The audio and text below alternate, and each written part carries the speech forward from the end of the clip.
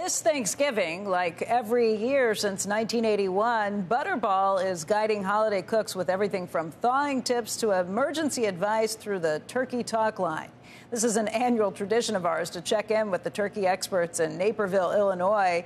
And joining us right now, live from the Butterball talk line, is Bill Nolan.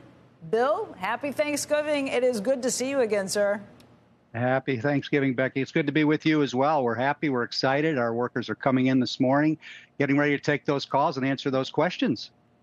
We, we just finished a segment where we were talking about how uh, so much of the world is moving to streaming. The internet plays a big role, but you guys, I think, are getting as many calls as ever through the Turkey Talk line. How, how is the Turkey Talk line kind of internet proof? Uh, why, why do people still call you? I think the secret is is people want to talk to a real human being. You know, um, we've adapted over time with technology. We know we we take uh, questions through text, through uh, email, through live chat, but really the phones are the, still the the backbone of the talk line. People want to call 1 800 Butterball. They want to talk to a real human being. We're here throughout the week. Uh, we were here last night till 9 o'clock. We'll be here tonight till 9 o'clock. We'll be here all day tomorrow. So we're the lifeline for people, whether they just want some advice and they've maybe done it a million times, but they want to make sure they're doing it right, or that first time cook that says, I've never done this before. How can you do it?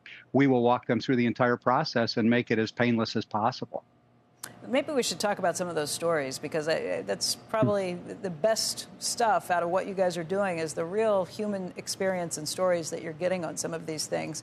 I, I would guess you get calls from first timers? What, what are some of the craziest questions you all have been asked?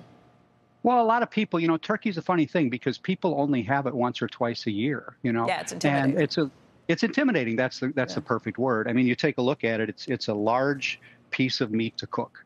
And people say, How am I going to do this? How am I going to thaw it out? Our number one question on the talk line is how do I thaw my turkey? And the good news, being that it, we're this close into the holiday right now, is there is a quick way to do it, which is a cold water method that you leave the turkey in the wrapper, put it in the sink, fill it up with cold water, and change that water every 30 minutes. And you can thaw that turkey out in a matter of hours instead of a matter of days in the refrigerator. So this is great for the people that forgot to buy a turkey, forgot to take it out of the freezer. And exciting this year is another option we have, which is our cook from frozen turkey, which is rolled out in select markets. People can go to the butterball.com website and take a look at the uh, top of the website where where to buy and click down to see if it's available in your area. But you take it out of the bag, take it out of the inner wrapper, pop it into a 350 degree oven, and in about four hours you've got a perfectly cooked turkey, which is takes a lot of that headache of thawing it out off the table for you. I, have read some of the stories where you all talk about some of the uh, funny questions that get asked of people. When uh, somebody said, called, a guy called in and said, um, "My turkey's frozen. What do I do?" He was asked, "What what what state is the turkey in?" And he answered, "Florida." I've, I've seen the questions about people wanting to know if they could yeah. uh, thaw the turkey with an electric blanket, all, uh, if they should be washing it with dish soap in the sink.